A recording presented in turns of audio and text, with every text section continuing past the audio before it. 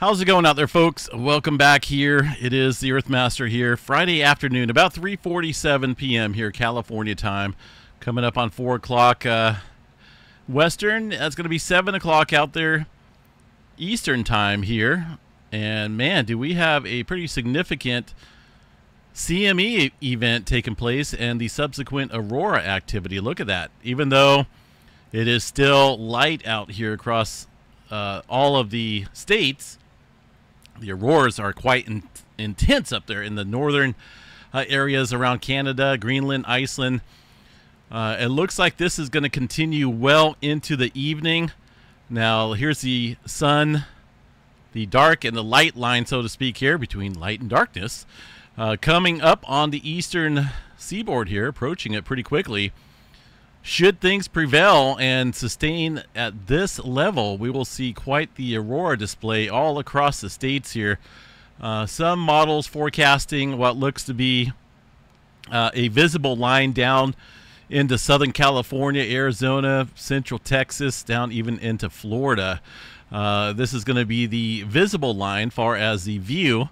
Uh, if you were to look to the northern horizon, you'd be able to see it. Now, overhead, uh, you just look straight up. This is the line right here. Northern California in there as well, uh, down into uh, Oklahoma and Tennessee area. So uh, this is going to be an interesting event. It is holding steady at uh, you know a very strong level. Highest level reached so far looks to be almost a 9, which would put it at a G5 class storm. Now, that's a pretty significant storm and something that we haven't seen since uh, 2005 or so. Um, the official word, let me see here. This is from the Space Weather Prediction Center. If we go over and check out the, let me go back over here to Space Weather Solar Ham site. If we look at some of the models here uh, indicated on this chart, you can see that some of them have peaked up here in the KP index of 9. So that would be a, uh, a very strong storm, G5 storm. Goodness. Um, the majority of these awfully close here to the 9 level. It doesn't look like things are going down yet. Uh, there's obviously going to be some fluctuation in the readings, but uh, it looks like this could prevail through the night and amplify conditions out here across some, a good portion of the states here and into Canada, obviously. Uh, Alaska as well, pending you have clear skies up there. Uh, the real-time solar wind stream. This is the data here see what we got. Okay, so we got the speed right here, kms per second, fairly consistent ever since that uh, aurora, or ever since the CME impacted the planet earlier today. Density, I haven't really seen a huge spike here in density. I'm really surprised. I'm wondering if it's not coming here uh, overnight, but the speed has ramped up. Uh, temperature as well down here in the green and the BTBZ component of the interplanetary magnetic field. As long as we get a good southward pointing tilt here, um, then we'll be okay for the auroras. It will allow these auroras to pour in, kind of like we like, kind of like what we've seen here over the last few hours. Uh, there was a little bit of northward tilt that would suppress the auroras. Uh, but it looks like that has since opened back up here with the uh, these red runs, these little red dots indicating uh, you know venturing off towards more of a southward tilt. So uh, that's something to watch pretty closely. Again, this is uh, quite the event, and there is some pictures coming in here from. Let's see where this picture is coming in from. Ooh, wow! Look at that, beautiful. And this is just one area out here. Uh, they've seen them all throughout uh, a good portion of Europe over there and uh, these are probably going to come in left and right here uh, to the uh, Solar Ham site. If you have any uh, pictures you'd like to share here, I'll gladly post them up here on the video. But uh, we're starting to get some images here of some awesome red, green out there on the distant Aurora display here uh, around that area where it's dark, obviously. but that line is increasing here in terms of the soon-to-be visibility. looks like maybe it's up Oh man, very close to the main area. Either way, these guys are going to be in for quite a show uh, with these conditions persisting like that. Goodness. uh, definitely one for the books, one of newsworthy value.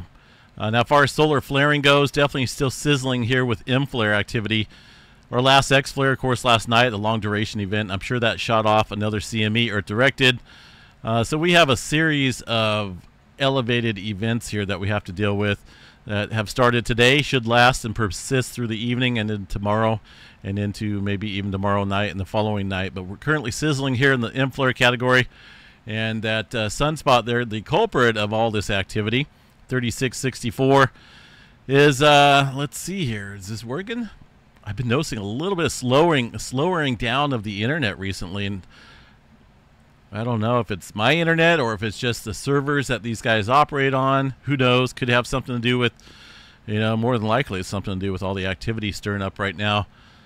Um, because things are running slow. Uh, there's that very complex sunspot, quite the dynamic setup here. Uh, this was taken. Yeah, current. So uh, notice the the complexity here. A lot of dark colors indicating the uh, differences in polarity of this magnetic uh, structure. Structure, uh, but we're we're out here on the southwestern quadrant of the sun. Still could be geo-effective here should anything else blast off.